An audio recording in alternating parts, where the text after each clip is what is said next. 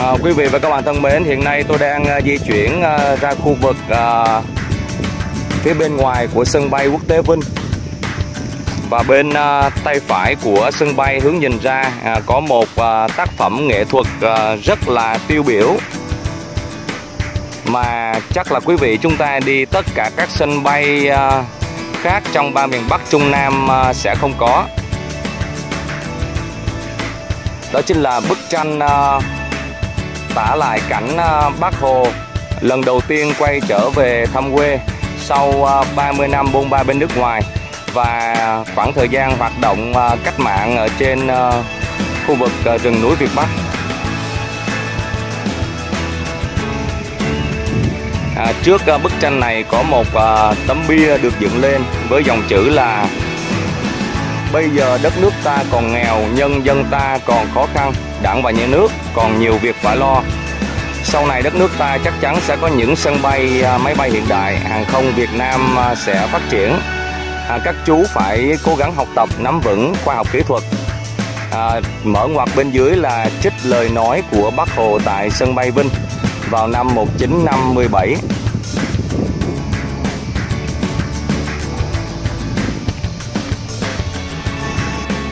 À, quý vị và các bạn thân mến, tôi à, có đi tìm hiểu về mặt lịch sử thì à, Bác Hồ à, à, sinh ra tại à, làng Hoàng Trù quê mẹ thuộc à, xã Kim Liên, huyện Nam Đàn, tỉnh Nghệ An. À, bác đã dành à, cả cuộc đời của mình để à, cống hiến cho sự nghiệp đấu tranh à, và giải phóng dân tộc. À, sau khi à, cùng với à, cụ phó bản à, Nguyễn Sinh Sắc, bố của mình vào trong Quy Nhơn và chia tay với cha tại đây để tiếp tục vào trong Sài Gòn. Lên tàu Pháp à, ra đi tìm đường cứu nước à, 30 năm buôn ba bên nước ngoài. À, mãi đến năm 1957 thì à, Bác Hồ lần đầu tiên mới được quay trở về thăm quê. Lần thứ hai là vào cuối năm 1961 và trước mặt à, quý vị đây là bức tranh à, tả lại cảnh Bác Hồ lần đầu tiên về thăm quê năm 1957 và lấy cảm hứng từ à, hình tượng này thì à, thành phố Vinh à, có thành lập một quảng trường à, Bác Hồ với à, tượng đài Bác Hồ à, đặt tại vị trí trung tâm của quảng trường à, cao nhất à, Việt Nam. Lấy hình mẫu từ à, à, ngày Bác Hồ quay trở về thăm quê lần đầu tiên năm 1957 à, chúng ta có thể nhìn thấy à, nội dung trên bức tranh thì à, à, chính giữa là hình ảnh Bác Hồ cùng với các chú bộ đội à, với à, nhân dân à, vùng Nghệ An. À, bên trên là có hình chiếc máy bay đang bay. Còn bên tay trái là khu vực của bến cảng Nhà Rồng tại Sài Gòn. À, bên trên à, bảo tàng Hồ Chí Minh tại cảng Nhà Rồng là có chiếc tàu Pháp à, đã đưa Bác Hồ à, đi ra bên nước ngoài tìm đường cứu nước. Còn à, bên tay phải đây là hình ảnh của làng sen quê cha còn gọi là nhà của cụ à, phó bản Nguyễn Sinh Sắc. Một bức tranh à, rất đẹp và đầy đủ ý nghĩa. Thể hiện niềm vui của quân và dân à, tỉnh Nghệ An khi được chào đón bác lần đầu quay trở về thăm quê.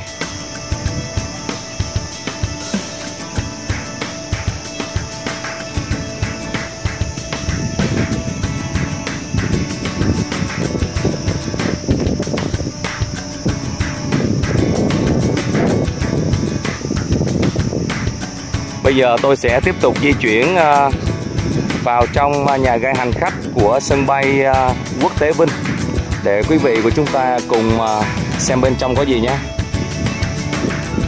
À, liên kề với uh, sân bay uh, quốc tế Vinh mới uh, bên tay phải là uh, nhà ga cũ của sân bay Vinh trước đây thì uh, nhà ga này được xây dựng vào năm 1994 hoạt động đến uh, hết năm 2018 uh, đầu năm 2019 thì uh, à, nhà ga cũ này à, đã ngưng hoạt động.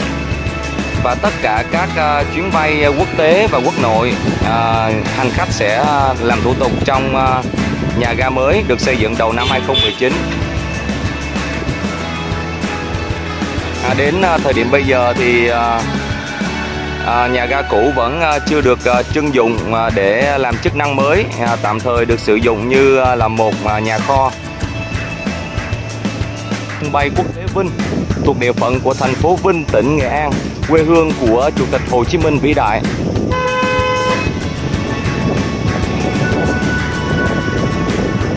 Hiện nay à, nhiệt độ ngoài trời đang là 40 độ C.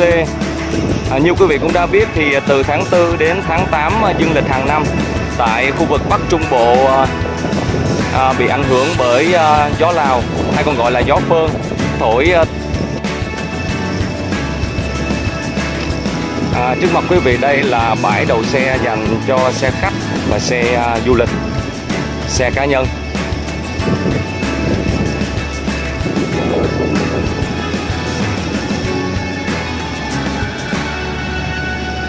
Vâng và trước mặt à, quý vị đây là toàn cảnh của nhà ga hành khách mới. À, nhà ga này thì à, mới được đưa vào sử dụng đầu năm 2019 thay cho nhà ga hành khách cũ nằm phía bên tay phải hướng từ bên trong nhìn ra. Theo tôi đi tìm hiểu thì à, sân bay Vinh à, do người Pháp à, xây dựng vào năm 1934. À, sau giai đoạn năm 1975 thì sân bay này bị bỏ hoang. Đến năm 1994 thì nhà nước mình mới trưng dụng khai thác trở lại. Với lượng khách à, đến với Vinh Nghệ An à, ngày một tăng thì à, sân bay Vinh hiện nay có xây dựng thêm một nhà ga hành khách mới thay thế cho nhà ga hành khách cũ.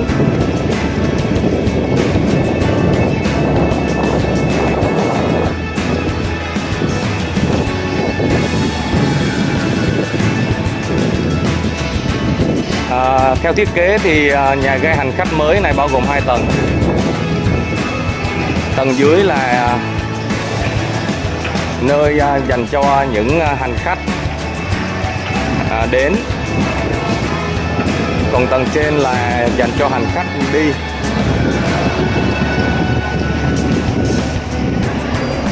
Vâng, tại đây thì đang có hai sảnh đến là sảnh A1 và sảnh A2. Theo tôi đi tìm hiểu thì tại sân bay Vinh hiện nay có hãng ờ, hàng không ờ, Vietnam Airlines, Vietjet Air, ờ, Vasco và đặc biệt là Bamboo Airways là những hãng hàng không đang khai thác tại sân bay này.